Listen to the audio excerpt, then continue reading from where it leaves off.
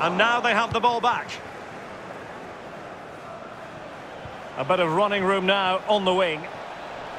Cross fired over. A goal! Real excitement. A back and forth type of game. Now they're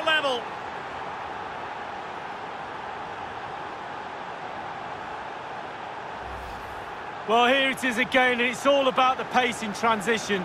They were so quick to get out from the back, and the thunderous strike to beat the keeper hands down is absolutely brilliant.